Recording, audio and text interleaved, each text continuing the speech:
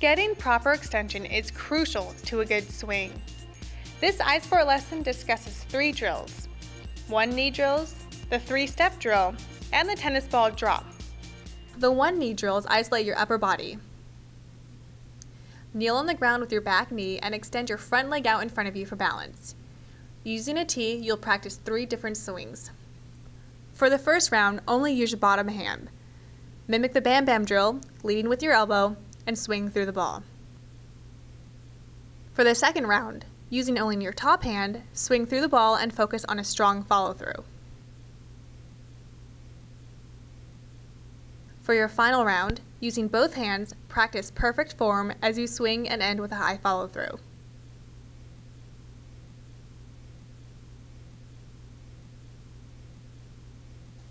The three-step drill focuses on drive and power. The batter will set up a tee and stand three steps behind it towards the catcher. Leading with your front foot, take three steps towards the ball. The first step will be small, with your front foot. The second step will be with your back foot stepping behind your front. And for these two steps, your hands will remain quiet at the top of your batting stance. On the third step, use all of your forward momentum and drive through the ball and follow through high. The tennis ball drop drill works your trigger and timing.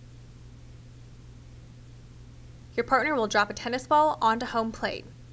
As a batter, you'll time the bounce so that as it reaches its apex, you load and are swinging through the ball. If your timing and swing are good, you'll hit the tennis ball solidly through its middle each time. Let's review what we just learned. One knee drills. With your lead hand, throw your hand at the pitch. With your backhand, throw the knob at the ball, follow through high. Both hands.